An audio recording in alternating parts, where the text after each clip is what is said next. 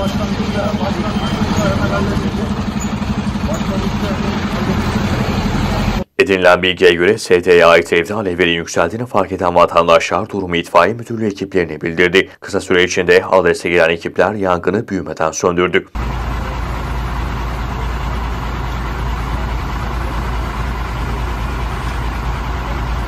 İkinci olay ise Çakırlar Mahallesi Çelikler Sokak'ta meydana geldi. Bir evin bahçe kısmında dumanların yükseldiğini gören vatandaşların ihbarıyla bölgeye giden itfaiye ekipleri alevleri eve ulaşmadan söndürdü. Her iki yangında maddi hasarla atlatılırken itfaiye ekiplerinin kısa sürede müdahalesi takdir topladı.